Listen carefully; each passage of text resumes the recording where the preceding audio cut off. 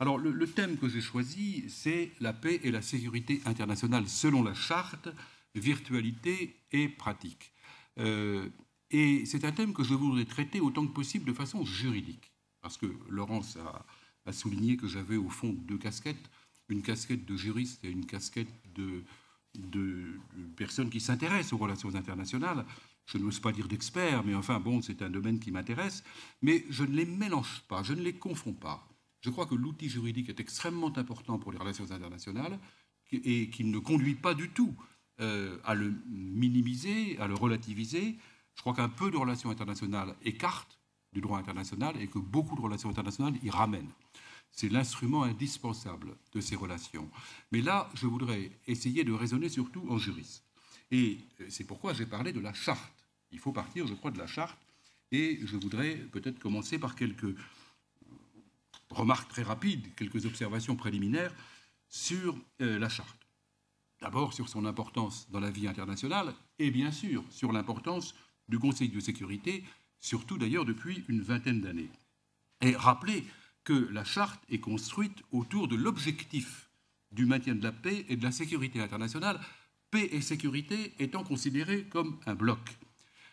Simplement, on va trouver dans la charte, et je crois qu'il est indispensable de s'appuyer sur son texte, hein, ce petit livre bleu qui devrait être votre, votre livre de chevet, que vous devriez toujours avoir avec vous, on va trouver dans la charte deux conceptions différentes de la paix et de la sécurité, euh, qui permettent de les distinguer aussi bien intellectuellement que juridiquement. Euh, d'abord la paix. La paix qui va être envisagée au sens positif du terme, non pas simplement comme l'absence de guerre, non pas simplement comme une paix froide. Euh, eh bien, la paix, il en est question dans l'article 55 de la charte, qui est inscrit dans le chapitre 9, intitulé Coopération économique et sociale internationale. Et l'objet de cet article, l'objet affiché, affirmé, c'est d'enraciner entre les nations des relations pacifiques et amicales de nature à établir entre les États une paix structurelle, non pas simplement une absence de guerre, mais une paix structurelle euh, qui est un petit peu comparable, ou qui soit un petit peu comparable à ce qui existe entre les membres de l'Union européenne. Et on peut dire au fond que les objectifs de l'article 55, ils ont été réalisés dans le cadre de l'Union européenne, mais pas sur le plan universel, parce que les moyens qui sont mis en œuvre par les Nations unies sont modestes, parce que les obligations sont incertaines, de sorte que cette conception de la paix, qui est une conception de la paix positive, elle est euh, assez faible. En revanche, si nous considérons la sécurité, la sécurité de façon autonome, eh bien, euh, elle est essentiellement militaire. Elle est essentiellement liée à des questions de conflit, des questions de prévention et de réaction face au conflit, afin de protéger les États membres contre les actes d'agression et plus généralement de euh, prévenir les menaces et atteintes à la sécurité. Alors, la paix, euh, elle n'a plus qu'une signification négative dans ce contexte. C'est simplement l'absence de conflit ouvert. Et c'est cette conception que la charte s'efforce essentiellement de mettre en œuvre. Elle est beaucoup plus tournée vers la sécurité que vers la paix. Et à cette fin, elle établit un dispositif normatif et institutionnel qui est au cœur de la charte. Alors, il est normatif avec l'article 2, paragraphe 4. Nous savons que l'article 2 contient les principes des Nations Unies, le paragraphe 4 traite du recours à la force, et évidemment, je vais y revenir. Cet article 2, paragraphe 4, il limite de façon drastique le droit des États membres de recourir à la force dans les relations internationales. À côté de ce dispositif normatif, il existe un dispositif institutionnel qui est celui du Conseil de sécurité, dont la mission consiste à maintenir ou à rétablir la paix et la sécurité internationale. Et les pouvoirs, les compétences et pouvoirs dont dispose le Conseil sont précisés notamment dans le chapitre 7 de la Charte. Mais dans ce chapitre, il convient de réserver une place à part à l'article 51 qui réserve au profit des États un droit naturel, suivant le texte français, ou inherent, suivant le texte anglais, de légitime défense individuelle ou collective face à une agression armée. évidemment, c'est sur ces différents points que je vais revenir de façon plus précise et plus approfondie. Alors, euh, Commençons par l'article 2, paragraphe 4. C'est la norme fondamentale de toute l'entreprise. Je rappelle son, texte, et je, le lis ici rapidement, mais ceux d'entre vous qui ont la charte peuvent s'y reporter. Euh, les membres de l'organisation s'abstiennent, dans leurs relations internationales, de recourir à la menace ou à l'emploi de la force, soit contre l'intégrité territoriale ou l'indépendance politique de tout État, soit de toute autre manière incompatible avec les buts des Nations Unies. Alors on sait que cet article, c'est l'aboutissement d'un long effort juridique de réduction du droit des États de recourir internationalement à la force, essentiellement à la force armée. Alors est-ce qu'il s'agit d'interdire la guerre? On notera que le mot de guerre ne figure pas dans le texte de la charte, à l'exception du préambule, pour la condamner, et des dispositions transitoires de sécurité qui sont liées aux suites de la, Seconde Guerre mondiale. Mais dans le corpus actif de la charte, si je puis dire, on ne trouve pas l'expression de guerre. Est-ce que cela veut dire qu'il y a une mise hors la loi de la guerre? Peut-être. il faudra y revenir. Euh, est-ce qu'il s'agit d'abolir ce qu'on appelait classiquement la compétence de guerre des États? Si c'est le cas, euh, selon aussi bien Max Weber que Karl Schmitt, euh, cela veut dire qu'on émascule les États, puisque pour eux, le monopole du recours à la force armée, et donc le droit souverain de recourir à la force armée, est un élément de leur définition et même une condition de leur existence. En tout cas, ce qu'on peut observer, et là peut-être on glisse un petit peu sur le terrain des relations internationales, c'est que depuis l'entrée en vigueur de la charte, la violence internationale n'a évidemment pas disparu. Elle a revêtu, elle revêt de multiples formes. On peut dire que la violence directe entre les États s'est réduite, mais parallèlement, celle des acteurs non étatiques s'est développée, et il peut s'agir d'une violence très meurtrière. Dans le cas de conflits asymétriques, qu'on qualifie parfois de conflits de faible intensité, mais qui, sur le terrain, pour ceux qui y sont confrontés, euh, n'en est pas moins d'une très grande violence. Et puis, bien sûr, il y a les phénomènes du terrorisme. Alors, cela veut dire qu'on ne peut pas dissocier l'analyse de la charte de la pratique internationale depuis maintenant près de 70 ans. Et je crois qu'il faut confronter cette pratique euh, à partir de trois données juridiques. D'abord l'article 2, paragraphe 4, que je viens d'évoquer, le rôle du Conseil de sécurité, et le sens et l'utilité de la légitime défense telle qu'elle est reconnue par l'article 51. Ce sont euh, deux normes de la charte, l'article 2, paragraphe 4 et l'article 51, qui sont en quelque sorte médiatisées par le Conseil de sécurité. Ce sont elles qu'il faut analyser au regard de la pratique, de celles du Conseil, mais aussi de celles des États membres. Alors, ça va me conduire à deux séries d'observations. D'abord, à propos de l'article 2, paragraphe 4, les interprétations ou les lignes d'interprétation qu'on peut retenir à son sujet, et euh, ensuite, c'est pratique, interprétation et pratique de l'article 2, paragraphe 4, et puis deuxième série d'observations, les fonctions de la légitime défense selon la charte. Commençons par euh, l'article 2, paragraphe 4, les interprétations et les pratiques. Alors, c'est évidemment un article central, euh, mais c'est aussi un article qui reflète le droit coutumier. On est en présence d'une norme du droit international général, ce qui veut dire que cette norme est opposable à tous les sujets de droit international, y compris à ceux qui ne sont pas membres de l'ONU. Je crois qu'on peut commencer par dire quelques mots des lignes d'interprétation générale. Quelles sont les approches globales, si je puis dire, de l'article 2, paragraphe 4 Et puis ensuite, alors ces approches, elles sont plutôt doctrinales. Et puis ensuite, on prendra quelques exemples de problèmes pratiques que soulève cette interprétation, que soulève l'énoncé de l'article 2, paragraphe 4. Mais commençons par quelques lignes générales d'interprétation. Et ici, je crois qu'on peut en distinguer trois. Bien sûr, de façon très schématique, euh, je suis persuadé qu'on pourrait me reprendre et affiner bien plus, mais grosso modo, euh, le Conseil de sécurité parfois se comporte comme un pianiste, parfois comme un déménageur. Et là, je vais me comporter comme un déménageur. C'est-à-dire que je vais marquer quelques grandes ruptures qu'on pourrait bien sûr euh, améliorer. je distinguerai une interprétation intégriste, une interprétation nihiliste et une interprétation pragmatique. L'interprétation intégriste, c'est celle qui a la faveur de la plupart des juristes de la doctrine, des membres de la doctrine. C'est une tradition pacifiste et les internationalistes sont dans leur grande majorité des pacifistes. Elle pose que l'article 2, paragraphe 4, comporte une interdiction générale et absolue de l'emploi de la force armée dans les relations internationales. Une mise hors la loi de la guerre qui entraîne même la criminalisation de la guerre. C'est-à-dire que ceux qui se livrent, par exemple, à des actes d'agression sont passibles de tribunaux internationaux. Le crime d'agression est devenu, ou est en passe de devenir, un crime international, mais notons que c'est aussi un crime individuel qui permet d'écarter l'immunité des responsables des États, y compris du chef de l'État, tout au moins pour ceux qui acceptent le statut de Rome établissant, instituant la Cour pénale internationale.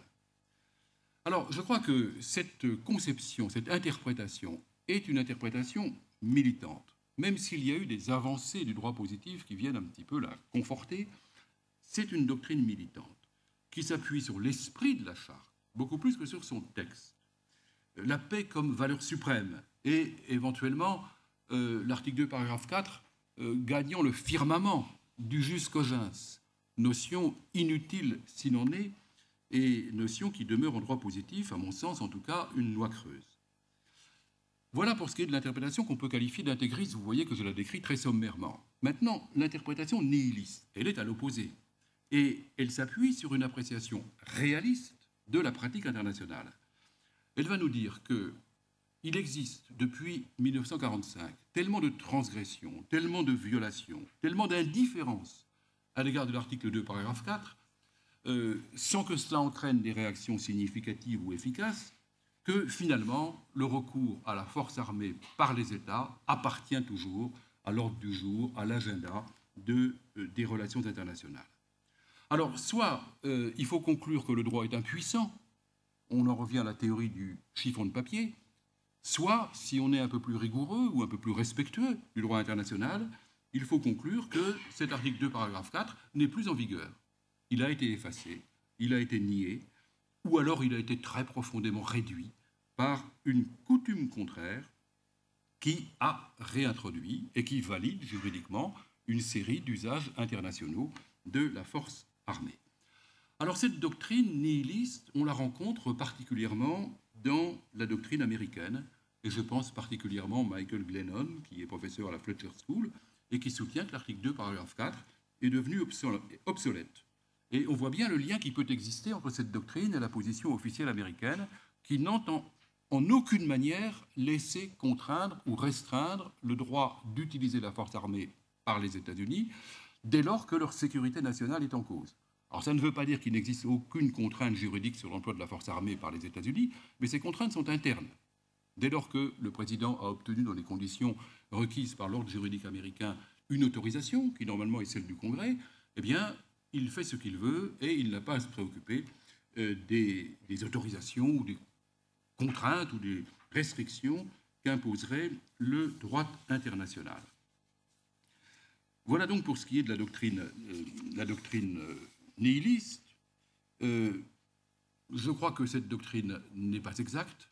Je crois qu'il n'y a pas d'éléments qui permettent de conclure que juridiquement l'article 2, paragraphe 4 aurait été effacé par une coutume contraire. Il y en a une affirmation qui est une affirmation de, politique juridique, plus que de droit positif, me semble-t-il, mais c'est un point sur lequel, le cas échéant, on pourra revenir. Euh, reste une troisième interprétation, et c'est celle à laquelle, personnellement, je me rallierai. C'est une interprétation pragmatique qui va s'appuyer sur le texte même de l'article 2, paragraphe 4, en considérant que les énoncés ont une signification et qu'on ne peut pas réduire le droit à je ne sais quel esprit. Euh, d'ailleurs, l'esprit des lois est dans les lois et nulle part ailleurs. Et donc, il faut tenir compte le plus attentivement possible des énoncés qui ont été longuement négociés et qui euh, ont un sens et une portée. Et il faut essayer de concilier ces énoncés avec la pratique internationale, qui est celle des États d'abord, et qui est celle aussi du Conseil de sécurité. Cette interprétation pragmatique, elle analyse l'article elle repose sur des micro-analyses et non pas sur une approche holistique de l'article 2, paragraphe 4. Et sur cette base, elle va distinguer différentes questions et différentes situations. On a affaire à un texte vivant, son interprétation n'est jamais arrêtée, jamais définitivement fixée, et les termes, les, énoncés de l'article 2, paragraphe 4, sont suffisamment larges pour s'adapter sans périr à des évolutions diverses. Alors comme je l'ai dit, c'est cette interprétation que personnellement je retiendrai. Euh, il n'y a pas d'obsolescence de l'article 2, paragraphe 4, mais il ne prescrit pas non plus une interdiction générale et absolue du recours à la force par les États. Il établit une réglementation ou une restriction du recours à la force, et c'est, me semble-t-il, ce que confirme la pratique internationale, et c'est ce que je voudrais maintenant euh, essayer d'analyser. Dans un deuxième temps de ces, de ces observations, sur l'article 2, paragraphe 4, donner quelques exemples des problèmes et des pratiques. Euh, je dis quelques exemples parce que, bien sûr, la pratique, elle est extrêmement vaste, extrêmement développée, elle pourrait nourrir des volumes. Et là, je vais m'attacher simplement à quelques, à quelques points, euh, et concrètement, je vais en prendre quatre, dont l'énumération est d'ailleurs de nature à illustrer la complexité de ce texte. Euh, et je vais laisser par exemple de côté tout ce qui ne concerne pas le recours à la force armée. On pourrait s'interroger sur cette notion de force, qu'est-ce qu'elle recouvre exactement, est-ce qu'elle peut s'étendre à des usages non militaires de la force? Je laisse cette question de côté parce qu'elle nous entraînerait trop loin, et euh, je vais essentiellement ici parler de la force armée et les, problèmes que je vais euh, analyser ou dont que je vais évoquer se rattachent tous au texte même de la charte. Alors, première question, premier point, c'est que l'article 2, paragraphe 4, ne comporte d'obligation qu'à l'encontre des États et au bénéfice des États. Puisque, évidemment, si le recours à la force est interdit, cela veut dire qu'il y a une obligation négative pour les uns et positive pour les autres. J'ajoute qu'il est dit que les États s'abstiennent de recourir à la force. Et cette formulation, elle exclut, à mon sens, que les États renoncent définitivement et en quelque sorte de façon structurelle à l'emploi de la force armée ou à la compétence de guerre. Ils ne renoncent à rien. Ils s'abstiennent, ce qui veut dire qu'ils conservent un droit qu'ils n'exercent pas. Et de ce fait, ils conservent le droit d'en avoir les moyens. J'y reviendrai, mais les États ne sont en aucune façon contraints de renoncer à des armées nationales, et il n'y a pas de contrainte dans la charte sur les armements, sur leurs armements. Et donc il s'agit d'une autolimitation, beaucoup plus que d'une interdiction, et on sait qu'une autolimitation, c'est toujours précaire. Alors là, on voit que on n'est pas très loin de la légitime défense, et j'y reviendrai euh, tout à l'heure. Alors ce qui peut nous intéresser ici, c'est la manière dont les acteurs non étatiques sont visés par les prohibitions de l'article 2, paragraphe 4, puisqu'il parle des États. En quoi peut-il concerner les acteurs non étatiques? Vous savez que le terme même d'acteur non étatique est aujourd'hui officialisé par la pratique, par la rhétorique du Conseil de sécurité. Mais le débat, euh, le débat est ancien euh, et il est lié aux vicissitudes de la vie internationale. Est-ce que les acteurs non étatiques sont fondés sur le plan international à recourir à la force et est-ce que les États sont fondés à l'employer contre eux? Eh bien, euh, il y a eu une évolution sur ce plan très nette. À l'époque de la décolonisation, l'Assemblée générale considérait d'une part que les mouvements de décolonisation, qui étaient les acteurs non étatiques de l'époque, euh, n'étaient pas concernés, d'autre part que les puissances coloniales ne pouvaient pas s'abriter derrière le principe de non-intervention dans leurs affaires internes pour justifier les conflits coloniaux. Donc on reconnaissait au fond la légalité euh, du recours à la force par les acteurs non étatiques anticolonialistes et ont contesté à l'inverse le droit des puissances coloniales d'utiliser une force répressive contre ces euh, mouvements. Donc c'était une position qui était plutôt favorable à une catégorie d'acteurs non étatiques, les mouvements de décolonisation, quels que soient les moyens qu'ils utilisaient. Et par exemple, on ne trouve pas de condamnation du terrorisme. Or, le terrorisme était un des moyens classiques de la lutte contre la domination coloniale. Alors évidemment, aujourd'hui, cette situation a profondément changé. Elle a changé euh, notamment depuis 1992 avec les attentats libyens contre des aéronefs américains ou français. Là, le Conseil de sécurité s'est mis à s'intéresser de façon très précise au terrorisme et à le condamner, qu'il s'agisse de l'action d'acteurs étatiques, plus ou moins camouflés, plus ou moins couverts, ou d'acteurs non étatiques. Et évidemment, euh, on peut dire que la lutte contre cette violence des acteurs non étatiques, elle a culminé après le 11 septembre, et aujourd'hui, il est tout à fait admis, et il n'est pas discuté qu'il y a une lutte internationale contre le terrorisme et les mouvements qui s'en réclament, terrorisme qui est animé par des mouvements criminels diffus. Et ce changement, il est lié à l'action du Conseil de sécurité. Et là-dessus, je voudrais faire trois remarques rapides.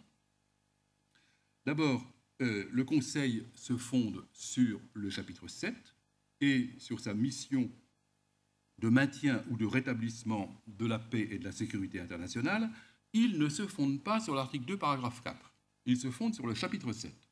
Ce qui veut dire qu'il n'y a pas de symétrie entre l'article 2, paragraphe 4 et les responsabilités du Conseil de sécurité et les actions qu'il mène.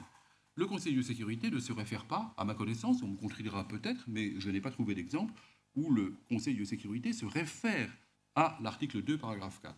Il lui suffit de euh, prendre en compte les menaces, les atteintes ou les ruptures de la paix, quelle qu'en soit l'origine. Alors ça peut nous mener à des réflexions assez, assez développées sur le fait que le rôle du Conseil n'est pas de faire respecter le droit. Le rôle du Conseil est de maintenir ou de rétablir la paix. C'est sa mission, qui est une mission politique en quelque sorte, plus que juridique. Il n'est pas un tribunal et il n'a pas pour mission de faire respecter le droit. Ce qui compte, ce n'est pas une violation du droit, c'est simplement une atteinte à la paix ou, objectivement, une situation qui menace la paix et la sécurité internationale. Première observation. Deuxième observation, c'est que euh, on, peut noter une évolution récente de la pratique du Conseil entre le choix, disons entre deux qualifications. Euh, une qualification du terrorisme comme acte d'agression. Et un acte d'agression, on le sait, ouvre le droit à la légitime défense. Et le modèle de cette pratique du Conseil de sécurité, c'est la résolution 1368 du 12 septembre 2001, considérant que les attentats du 11 septembre euh, mettent en cause, euh, non seulement mettent en cause la paix et la sécurité internationale, mais ouvrent le droit à l'exercice de la légitime défense. Ça, c'est une première approche qu'on pourrait dire sécuritaire. Il y a une deuxième approche qui est plus une logique judiciaire, où le Conseil va se fonder sur les violations du droit humanitaire par les groupes terroristes, euh, autrement dit sur le jus in bello, mais plus sur le jus ad bellum, plus sur l'ouverture d'un droit de recourir à la force armée qui reposerait sur l'article 51. Et là, euh, nous avons un exemple récent qui est celui de l'ISIL ou, du Daesh. On aurait très bien pu considérer, dans la lignée de la résolution 1368 du 12 euh, septembre 2001, qu'il y avait un acte d'agression, que Daesh était une sorte d'agression permanente, vivante, contre l'Irak et contre la Syrie. Or, la résolution 2170, qui est une résolution récente et l'une des plus récentes dans cette affaire, du 15 août 2014, se fonde uniquement sur des violations du droit humanitaire pour demander la dissolution de l'ISIL et pour demander qu'il y ait toute une série de mesures coercitives qui soient prises contre lui. Alors je reviendrai sur cette évolution lorsqu'il sera question de la légitime défense, mais on note tout de même, euh, je ne dirais pas un flottement, mais une certaine évolution de la position du Conseil. Mais dans les le cas, quelle que soit euh, euh, l'interprétation que l'on retienne, quelle que soit la pratique qui soit utilisée, on n'est pas dans le rapport avec l'article 2, paragraphe 4. Alors, je voudrais dire aussi, je voudrais dire aussi un mot, deuxième exemple, sur la limitation de l'interdiction du recours à la force dans les relations internationales. Il faut bien dire que la pratique n'a pas tenu compte de cette limite et la distinction entre interne et international s'est fortement érodée. Ce qui veut dire que l'emploi interne de la force armée fait aujourd'hui l'objet de prohibitions qui ont étendu le domaine de l'article 2, paragraphe 4. Et au fond, on peut se demander si le droit humanitaire, qui ignore la distinction interne et internationale, ne tend pas à absorber l'article 2, paragraphe 4. Si au fond, la, la norme la plus importante, qui ne figure pas dans la charte, puisque la charte n'évoque pas, n'évoque jamais le jus in bello et le droit humanitaire, eh bien, si au fond le droit humanitaire n'a pas recouvert euh, cette partie conflictuelle de la charte. Ce qui veut dire qu'on condamne les recours à la force davantage sur la base du droit humanitaire que sur la base de la violation de l'article 2, paragraphe 4, surtout lorsqu'il s'agit d'acteurs non étatiques, surtout, mais pas seulement. Ce qui veut dire qu'on cherche à, à réduire la force armée, non par une interdiction de principe, mais par une limitation des moyens utilisables. C'est aussi un moyen pour le Conseil de sécurité, et plus largement pour le droit international, de prendre en compte la violence concrète qu'il n'a pas pu prévenir pour tenter de la restreindre. On peut dire qu'il y a un retour en force du droit humanitaire et du jus in bello par rapport au jus ad bellum, qui, lui, euh, dans une certaine mesure, se trouve euh, réintroduit. Alors je voudrais dire encore un mot sur le, la menace de l'emploi de la force, puisque l'article 2, paragraphe 4, prohibe non seulement l'emploi de la force, mais également sa menace. La notion de menace est évidemment subjective, elle est très difficile à appréhender objectivement, et sans pouvoir entrer dans trop long développement, euh, j'observe que la question a été juridiquement soulevée devant la Cour internationale de justice à propos de la dissuasion nucléaire. La dissuasion nucléaire est évidemment une menace objective et subjective dirigée contre un agresseur virtuel. Et dans son avis consultatif du 8 juillet 1996, la Cour a estimé que la dissuasion nucléaire, qui repose sur la menace d'emploi d'armes nucléaires, n'était pas contraire au droit international et donc n'était pas contraire à l'article 2, paragraphe 4. Et là encore, cette question se relie à celle de la légitime défense. On voit bien qu'il y a une certaine relation entre les deux. Dernier exemple que je voudrais prendre euh, des, problèmes de l'article 2, paragraphe 4, dès lors qu'on on ne le considère pas dans son ensemble comme une interdiction de principe, mais qu'on cherche à voir un petit peu ce qu'il a euh, dans le corps, euh, c'est la précision fournie par le texte, par l'énoncé, que la force armée ne doit pas être utilisée, et je cite à nouveau ici l'article 2, paragraphe 4, soit contre l'intégrité territoriale, soit contre l'indépendance politique de tout État, soit de toute autre manière incompatible avec les buts des Nations Unies. Alors les partisans de l'interprétation intégriste estiment que c'est une formule qui n'a pas beaucoup d'importance et qu'au fond, elle ne retranche rien à l'interdiction générale et absolue du recours à la force. Ça n'est pas du tout mon opinion. Parce que dès qu'on ajoute des précisions et une interdiction, cela veut dire qu'on la restreint. Cela veut dire qu'on donne des éléments qui permettent de la canaliser et donc de la restreindre. Si on voulait une interdiction générale et absolue, on aurait dit les États renoncent ou s'abstiennent de l'emploi de la menace ou de la force armée dans les relations internationales. Point. Dès lors qu'on ajoute soit contre l'intégrité territoriale ou l'indépendance politique, soit de toute autre manière, etc., ça veut dire que tout de même, on limite l'interdiction. Ça veut dire que s'il existe des hypothèses de recours à la force armée qui ne portent pas atteinte à l'intégrité territoriale d'un État, ni à son indépendance politique, et qui ne sont pas non plus contraires au but des Nations Unies, ces hypothèses ne relèvent pas de la prohibition.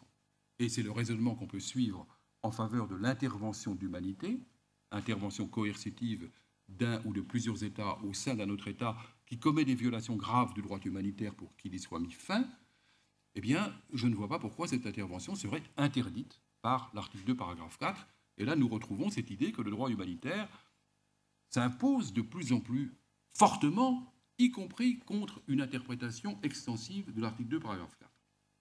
Et je rappelle par exemple que dans la résolution 2170 du 15 août 2014 à propos de l'ISIL et de Daesh que je citais tout à l'heure, la responsabilité de protéger sa propre population est une obligation internationale de l'État. Donc on a une consécration de la responsabilité de protéger qui peut entraîner un certain nombre de conséquences. Si l'État ne protège pas sa propre population parce qu'il est incapable de le faire, parce que c'est lui-même qui l'attaque ou qui la soumet à des exactions violentes, à mon sens, les autres États sont fondés à intervenir pour faire respecter le droit humanitaire. Alors, c'est une affirmation qui peut être un peu provocante, mais que je vous livre et que, le cas échéant, nous pourrons rediscuter tout à l'heure. Alors, je n'ai pas abordé ici euh, les hypothèses dans lesquelles le recours à la force armée par les États euh, se déroule avec l'autorisation du Conseil de sécurité, parce que lui-même ne dispose pas de forces armées, ou en tout cas pas de forces armées suffisantes, pour rétablir par lui-même la paix et la sécurité. Alors on sait que le Conseil euh, organise ou enregistre des constructions sécuritaires complexes qui associent contingents de casques bleus faiblement armés et opérations militaires coercitives entreprises par des États membres autorisés. C'est la pratique actuelle, un mélange ou plutôt un parallélisme entre les formules classiques de casque bleu et puis des opérations extérieures menées par des États autorisés ou habilités. Mais je l'évoque, ce n'est pas ici euh, mon sujet. Et euh, ces missions sont sans aucun lien avec l'article 2, paragraphe 4, puisque les États agissent comme agents de l'organisation, non de leur propre initiative.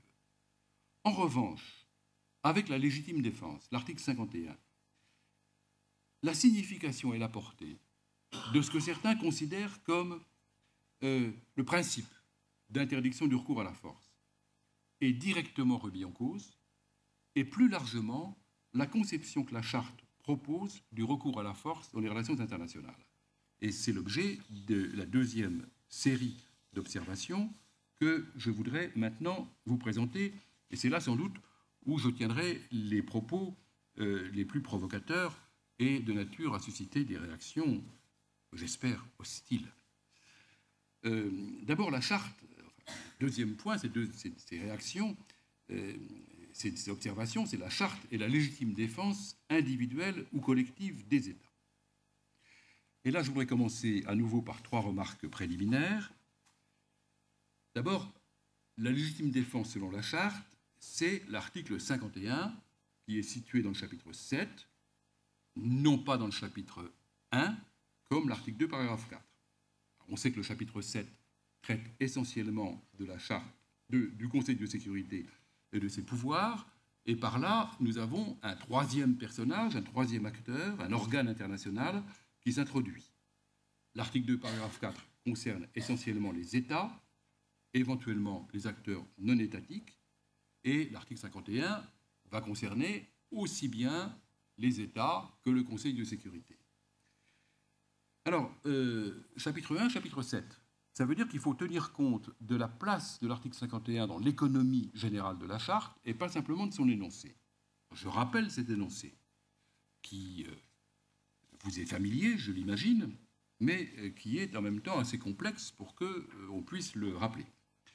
Je cite Aucune disposition de la présente charte ne porte atteinte aux droits naturels de légitime défense, individuelle ou collective, dans le cas où un membre des Nations Unies est l'objet d'une agression armée, jusqu'à ce que le Conseil de sécurité ait pris les mesures nécessaires pour maintenir la paix et la sécurité internationale. Les mesures prises par des membres dans l'exercice de ce droit de légitime défense sont immédiatement portées à la connaissance du Conseil de sécurité et n'affectent en rien le pouvoir et le devoir qu'a le Conseil, en vertu de la présente charte, d'agir à tout moment de la manière qu'il juge nécessaire pour maintenir ou rétablir la paix et la sécurité internationale. La plupart, mais pas tous, mais enfin beaucoup, beaucoup de recours à la force armée par les États depuis 1945 ont été fondés sur la légitime défense et y ont recherché leur justification juridique. Alors, on est tenté de dire que l'extension pratique, euh, l'utilisation extensive de la légitime défense invalide l'article 2, paragraphe 4, qu'il y a comme une contradiction interne de la charte, et que cette contradiction la prive de toute efficacité. Ça, c'est l'analyse dominante. Euh, c'est aussi la perception spontanée des non-juristes que de dire que la légitime défense a été conçue comme une exception à l'interdiction de recours à la force, mais que l'exception s'est tellement développée qu'en définitive, elle a renversé le principe. En réalité, euh, ça n'est pas la thèse que je vais du tout défendre. Je crois que la légitime défense occupe dans la charte et dans la pratique internationale une position flottante, une position qui est indéfinie et qui va dépendre des situations et surtout de l'attitude du Conseil de sécurité, de sa capacité de décision et d'action.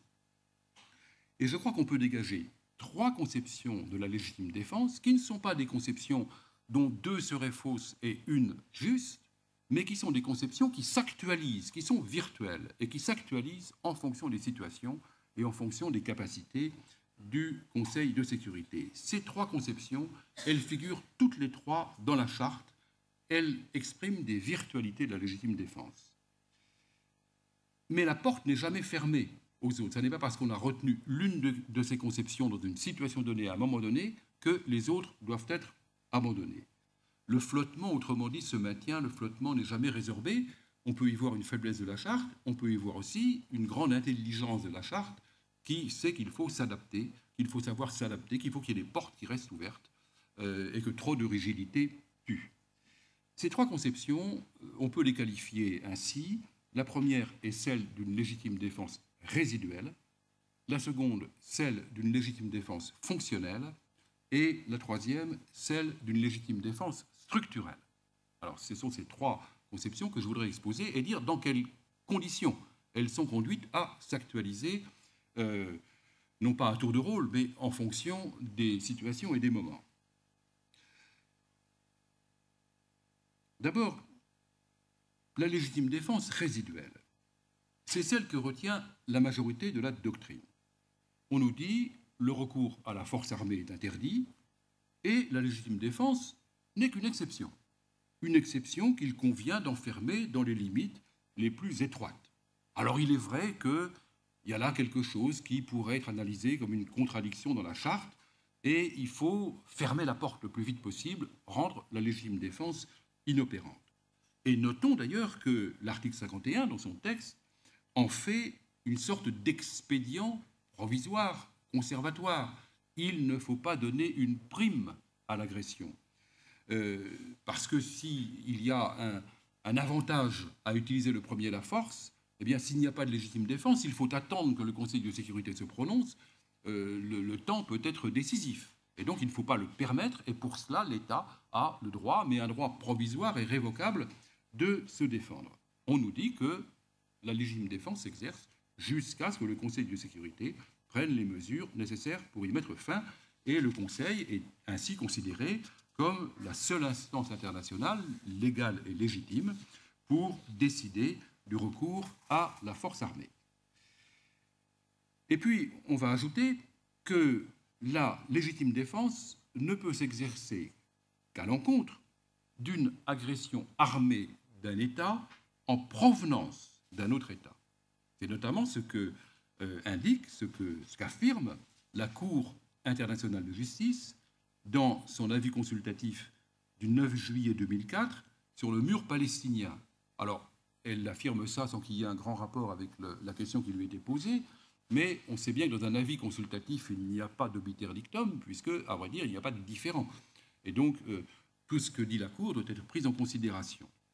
Ce qu'on peut observer tout de même, c'est que, ce faisant, en disant que la légitime défense s'exerce contre l'agression armée en provenance d'un État contre un autre État, c'est que la Cour ajoute un mot à la charte. Elle change euh, l'énoncé de la charte qui ne parle en aucune façon, l'article 51 ne, ne, parle pas d'agression en provenance d'un État. L'article 51 dit simplement, voilà, s'il y a un acte d'agression. Mais elle ne nous dit pas que cet acte d'agression, euh, fait générateur, doit être le fait d'un État, ce qui laisse place à l'agression provenant des acteurs non étatiques. Et euh, euh, comme on le sait, c'est ce qu'a décidé le Conseil de sécurité dans la résolution 1368. Alors je crois que cette conception résiduelle, on peut parfaitement l'accepter, elle, correspond à la pratique de la charte, lorsque le Conseil de sécurité fonctionne, lorsqu'il prend effectivement et efficacement les mesures de nature à prévenir ou à réprimer euh, l'agression et à rétablir la paix et la sécurité. Alors, on est dans la logique même, euh, dans la logique euh, candide, si je puis dire, de la charte, la sécurité collective se substitue à la légitime défense. Et je crois qu'il ne faut pas confondre sécurité collective et défense collective. Même si la légitime défense est collective, euh, c'est une défense, ce n'est pas une sécurité. On aura peut-être l'occasion d'y revenir, mais ce sont deux concepts totalement différents, la sécurité collective et la défense collective. Donc la conception résiduelle, elle correspond au fonctionnement optimal de la charte. Si la charte fonctionne bien, effectivement, la légitime défense est résiduelle. Ce qui ne veut pas dire, et ce sera la, la dernière observation que je ferai sur cette légitime défense résiduelle, ce qui ne veut pas dire qu'elle exclut nécessairement la légitime défense préventive. Si cette légitime défense préventive apparaît comme la seule méthode, le seul moyen qui permette de prévenir ou de repousser efficacement une agression imminente, eh bien, il n'y a rien dans la charte qui permette de l'exclure. Au fond, le principe qui domine la légitime défense, et qui n'est pas inscrit dans la charte, mais qui est inhérent au concept, si je puis dire, euh, c'est celui de la proportionnalité. On ne peut pas aller au-delà de ce qu'exige la défense. Mais il peut arriver que la défense exige une action préventive, mais c'est un standard en quelque sorte que l'on ne peut apprécier qu'en fonction d'une situation concrète. On ne peut pas, euh, on ne peut pas raisonner par catégorie. Euh, et la Cour internationale, dans son, dans son avis consultatif de, de 96, euh, raisonne par catégorie en disant qu'il y a une situation extrême de légitime défense où la vie même de l'État est en cause, euh, ce qui semblerait indiquer que dans la légitime défense, on peut établir différentes catégories. Je ne crois pas que ce soit le cas. Je crois qu'il y a un principe de proportionnalité qui domine l'ensemble, qui est extrêmement flexible et qui doit être apprécié en fonction des situations. Maintenant, deuxième, deuxième virtualité de la légitime défense, c'est la légitime défense fonctionnelle. Cette légitime défense fonctionnelle, elle n'est en aucune façon une exception à une prétendue interdiction du recours à la force par les États, et elle n'est pas non plus une faille de la sécurité collective.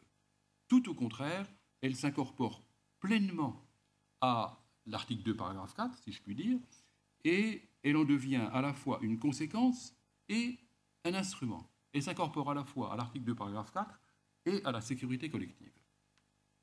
D'abord, elle n'est pas une exception à l'interdiction du recours à la force, mais elle en est une conséquence. Et je dirais même qu'elle est un élément de sa réglementation. C'est parce qu'un État est victime d'une agression et que donc il y a eu violation de l'article 2, paragraphe 4, que l'État agressé peut utiliser la force. Si l'État pouvait utiliser la force en toute hypothèse. Il n'y aurait pas besoin de prévoir la légitime défense. Donc ça la légitime défense n'existe pas, quoique le recours à la force soit interdit. La légitime défense existe parce que, et dans la mesure où le recours à la force est interdit. Donc il faut renverser totalement le raisonnement. Ça n'est pas une exception, c'est une conséquence. Donc il y a une solidarité entre l'article 2, paragraphe 4 et l'article 51. Il n'y a nullement exception ou contradiction. Et lorsqu'il s'agit de la légitime défense collective, eh bien, on est plus proche de la sécurité collective. Ce qui veut dire que le Conseil de sécurité peut lui-même se référer à l'article 51. Il peut la reconnaître et il peut autoriser sur sa base le recours à la force armée par les États, ce qui lui permet de l'encadrer. C'est ce qu'il a fait par exemple avec la résolution 678 euh, en 1990, lors de l'invasion et de l'annexion du Koweït par l'Irak. C'est ce qu'il a fait en 2001 avec la résolution 1368 qui a suivi les attentats d'Al-Qaïda. Et en effet, le Conseil de sécurité est compétent pour qualifier un acte d'agression et pour en tirer les conséquences. C'est ce que prévoit l'article 39 de la charte. Mais euh, l'article 51, il ouvre au Conseil de sécurité, je dirais, des compétences sans limite, des compétences qui sont même plus fortes, plus importantes que celles que prévoit le reste du chapitre 7. Et en voici deux exemples. Le premier, premier exemple, c'est l'autorisation donnée aux États membres, seuls ou aux coalitions, de recourir à la force armée. Et les conflits qui résultent de cette autorisation ne sont pas des conflits des Nations Unies, ce sont des conflits interétatiques. Les, forces qui combattent combattent sous pavillons nationaux et pas sous pavillon des Nations Unies. C'est ainsi que, au moment de la première guerre d'Irak, en 1991, le secrétaire général de l'organisation, M. Pérez Zekwellar, avait dit la guerre qui se déroule en Irak est autorisée par les Nations Unies, mais ce n'est pas la guerre des Nations Unies.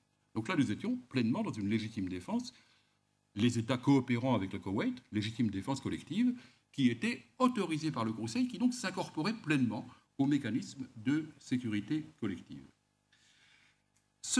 Euh, second exemple, c'est que le Conseil de sécurité peut qualifier d'agression des actes dirigés contre un État mais provenant d'acteurs non étatiques, ce qu'il a fait notamment pour les attentats du 11 septembre.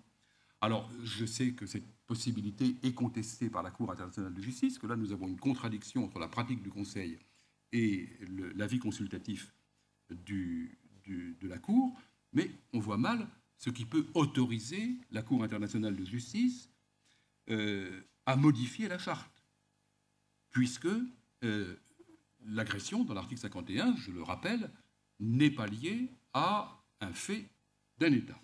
Et j'ajoute que le statut de Rome, en faisant du crime d'agression un crime individuel, eh bien, le statut de Rome renforce l'idée que les acteurs non étatiques peuvent être l'auteur d'agressions. Alors, ce qui, reste avec cette, cette conception fonctionnelle de la légitime défense, c'est que des organisations internationales permanentes se constituent au nom de la légitime défense collective. L'exemple contemporain, le seul qui reste aujourd'hui, c'est l'OTAN. Alors là, nous courons évidemment le risque que la défense collective se substitue à la sécurité collective et même de la supplante. C'est particulièrement le cas lorsque le Conseil de sécurité est paralysé par le veto et donc ne peut pas qualifier un acte d'acte d'agression, elle ne peut pas en tirer les conséquences, de sorte que la légitime défense devient pleinement autonome et échappe à tout contrôle international universel. Ça a été la situation dominante à l'époque de la guerre froide. Ça tend peut-être à le redevenir aujourd'hui, dans un autre contexte et de façon plus limitée, mais alors apparaît une troisième posture, une troisième virtualité de la légitime défense, apparaît peut-être sa réalité profonde, qui est qu'elle n'est ni résiduelle ni fonctionnelle, mais structurelle. Et c'est la troisième euh, virtualité, ou peut-être euh, la réalité, la légitime défense, euh, par, laquelle je vais, je vais conclure. Il suffit, je crois, de lire attentivement l'article 51 pour voir que ce caractère structurel, il est au fond des choses, que l'article 51 n'est pas quelque chose de latéral, quelques, quelques éléments un petit peu oubliés dans la charte, mais que c'est le fondement de la charte. Pas de charte sans droit de légitime défense. Ce qui veut dire qu'il faut lire la charte à l'envers. Il n'y a pas d'abord l'interdiction du recours à la force et ensuite une exception, mais il y a d'abord et avant tout la légitime défense et enfin, de façon subsidiaire, la réglementation du recours à la force. Donc il faut totalement renverser l'analyse classique, en tout cas à mon sens. Et comment, comment peut-on le démontrer? Eh bien, d'abord, euh, il faut prendre le texte.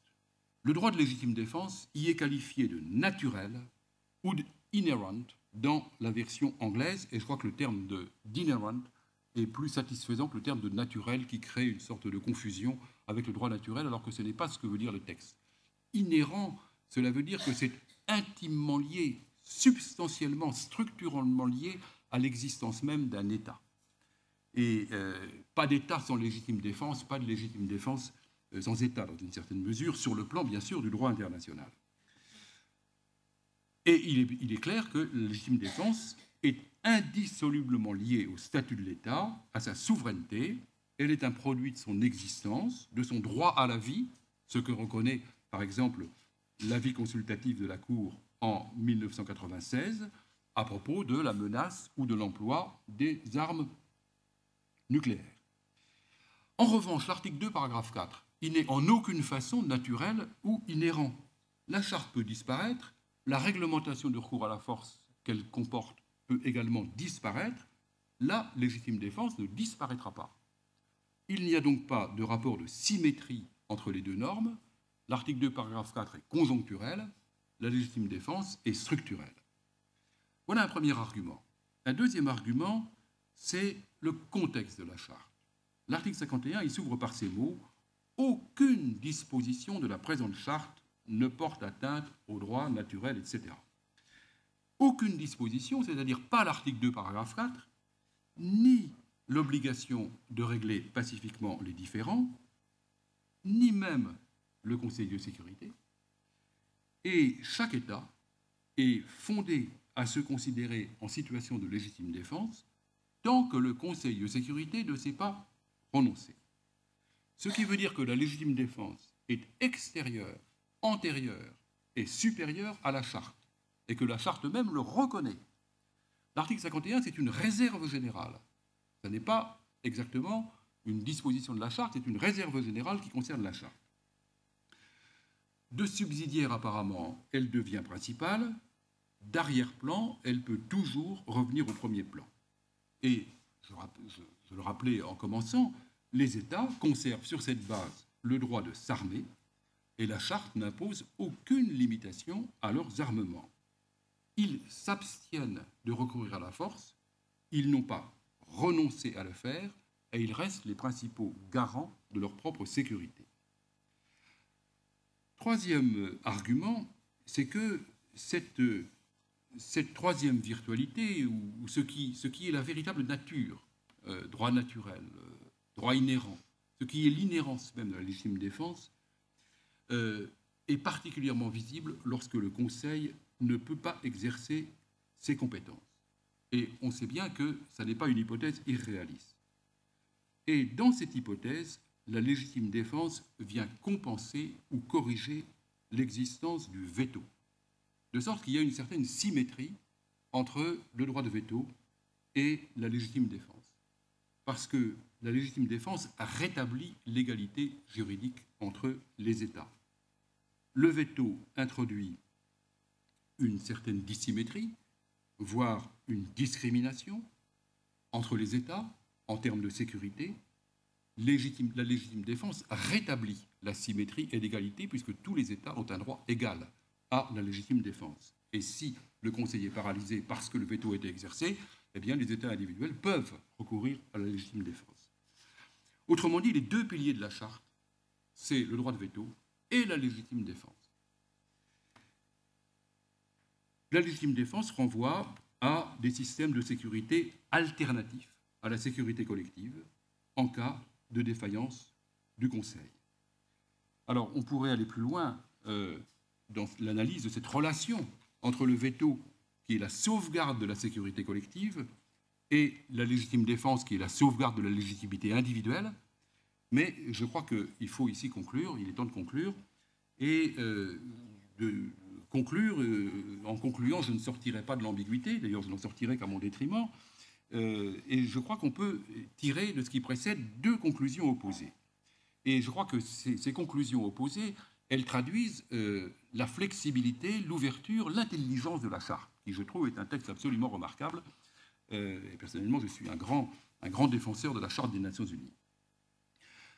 Alors, première conclusion possible, on constate que face à la guerre, dans son effort pour la mettre hors la loi, parce qu'il n'est pas douteux qu'il y a eu un effort pour mettre la guerre hors la loi, pour l'éradiquer, eh bien, on constate qu'en pratique, la charte est coupée en trois. Il y a l'article 2, paragraphe 4, il y a le Conseil de sécurité et il y a la légitime défense. Les trois sont associés, superposés et déconnectés. Ils sont un peu comme les trois frères Curias. Vous connaissez l'histoire des Horaces et des Curias? chacun d'eux est à lui seul insuffisant pour vaincre Horace, pour vaincre le démon de la guerre, si je puis dire. Et euh, euh, lorsque les trois sont associés, ça marche très bien, mais dès lors qu'ils sont dissociés, eh bien, c'est la guerre qui l'emporte, puisque la légitime défense est au fond tout de même euh, retrouver le droit de recourir à la guerre. Et c'est cette incapacité, de cette déconnexion, de cette dissociation entre les trois aspects ou les trois frères Furias que résultent les conflits internationaux ou les conflits hybrides et la fragilité du système de sécurité collective institué par la Charte.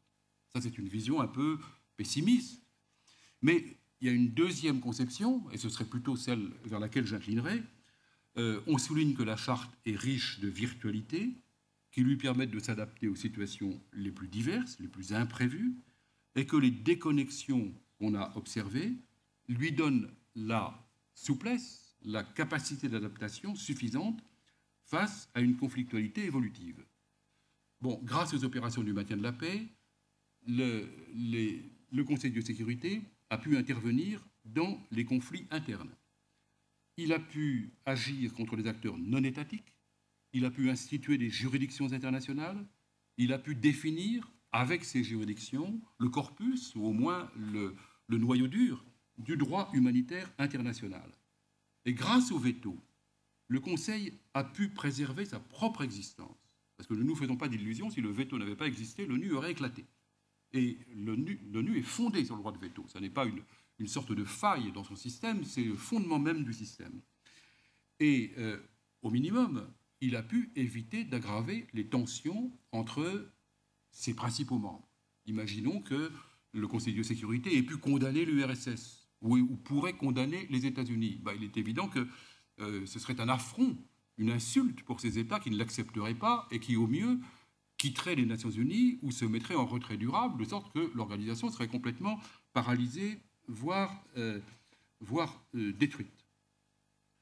Alors, la sécurité collective reste bien sûr imparfaite, c'est toujours un chantier, mais c'est un chantier ouvert, et je crois que la valeur ajoutée de la charte en la matière est tout à fait incontestable. Et sur ce dernier mot, madame, je m'arrêterai.